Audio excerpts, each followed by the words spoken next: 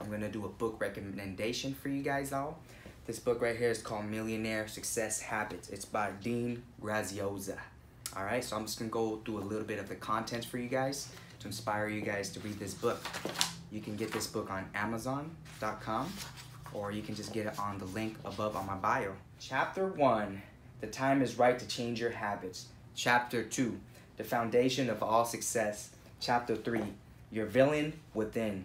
Chapter four, the power of your story. Chapter five, awakening the inner hero. Chapter six, one shining goal. Chapter 7, Attractions and Persuasions. Chapter 8, After the Yes. Chapter 9, The Power of Happiness. Chapter 10, The Quick Hacks of Success. Chapter 11, The Challenge. So, yes, this book right here is um, written by Dean Graziosi, and he's a really um, successful entrepreneur for real estate, and he does uh, real estate flip homes, and he also has his own uh, TV show, broadcast, as well as he does a lot of online marketing.